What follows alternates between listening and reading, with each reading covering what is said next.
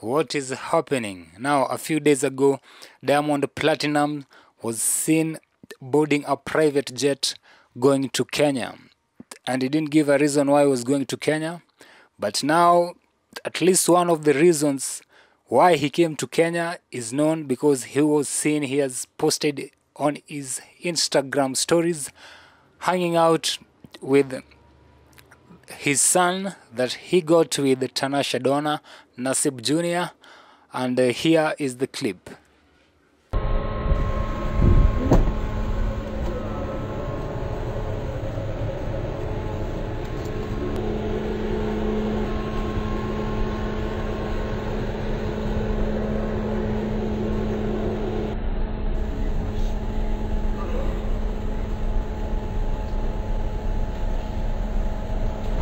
어,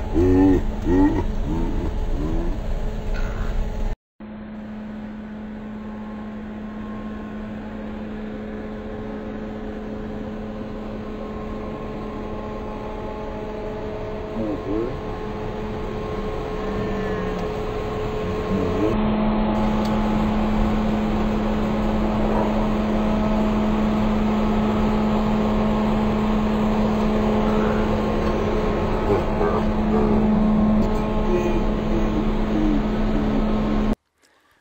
Alright, that is it for now. Remember to hit the like button and subscribe.